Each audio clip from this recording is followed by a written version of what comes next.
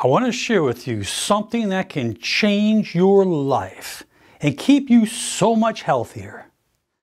These are broccoli sprouts.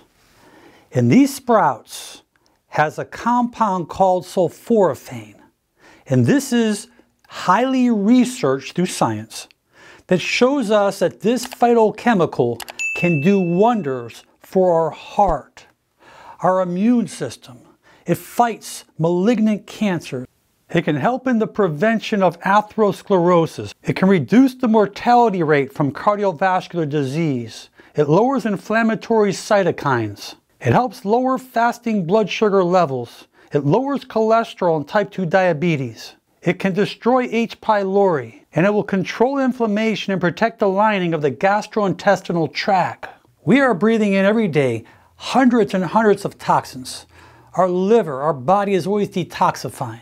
Broccoli sprouts will help wrap up these toxins where it can be shipped out through your colon, your sweat, as well as your urine. All diseases within our body are tied in inflammation.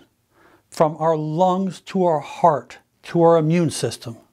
Heart disease, clogging of the arteries, cancer. Sulforaphane is known to kill malignant cancers. The research is there. Broccoli sprouts also reduce oxidative stress in type 2 diabetes. That sulforaphane in broccoli sprouts can improve hemoglobin A1C, as well as reduce fasting blood sugar levels. Broccoli sprouts will also benefit heart health. It reduces inflammation. This will reduce that narrowing of the arteries, which is a major cause of heart disease. Broccoli, cabbage, cauliflower, Brussels sprouts are all cruciferous vegetables, and they all contain sulforaphane. But these particular sprouts, these broccoli sprouts, contain 100 to 400 times more sulforaphane than any cruciferous vegetable. While broccoli is a very nutrient-dense vegetable, broccoli sprouts contains over 100 times the amount of sulforaphane than mature broccoli. Now broccoli sprouts are sprouted from the broccoli seeds and you can sprout this at home.